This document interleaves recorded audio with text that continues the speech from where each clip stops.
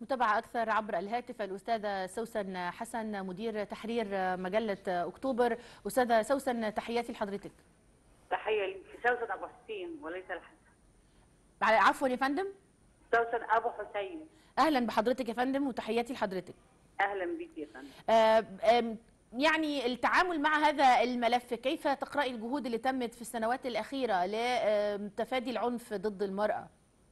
هي في الحقيقة في جهود كبيرة جدا اتبذلت لدرجة أنا ما بعتبرش إن العام هو الاحتفال بمنع العنف ضد المرأة وإنما هو تجاوزنا ما بعد الاحتفال إن إحنا نعيش على أرض الواقع أن المرأة المصرية لها جذورها الضاربة في التاريخ لها دور كبير في تربية وتنشئة الأجيال وبالتالي هي ال- الحسن الأمن حسن حسن الأمن والأمان لحماية المجتمع من أي ظواهر سلبية.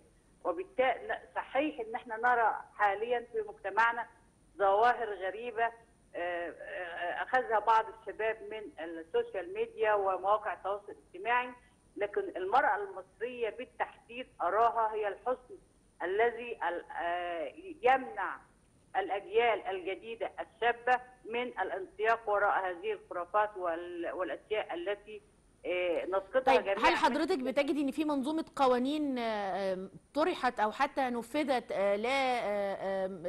لتفادي العنف لتوقيع هو العقوبه بشكل أسرع؟ في تقديري الق- القوانين الموجودة في مصر كفيلة لحماية المجتمع من جميع أنواع العنف وظواهره. ولكن أنا ب... أنا أرى أن القانون الأهم هو ما تقوم به المرأة المصرية من صد هذه الظواهر الدخيلة على مجتمعنا. يعني أرى أن المرأة المصرية هي كل المجتمع وليس نصف المجتمع.